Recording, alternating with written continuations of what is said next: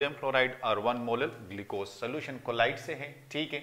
यहाँ पे हम बात करते हैं कि वन मोलर सोडियम क्लोराइड तो वन मोलर NaCl तो ये 58.5 ग्राम है, ठीक है?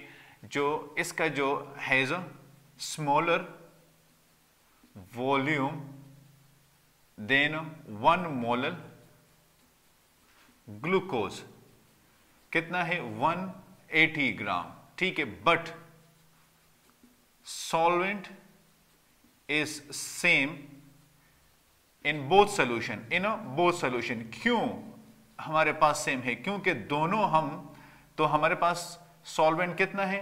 सॉल्वेंट हमारे पास है one K G one litre और थाउज़ेंड ग्राम और थाउज़ेंड एम ठीक है? तो हमारे पास सॉल्वेंट सेम है सोल्यूशन में। अलबत्ता ए स्मॉलर है एज कंपेयर टू द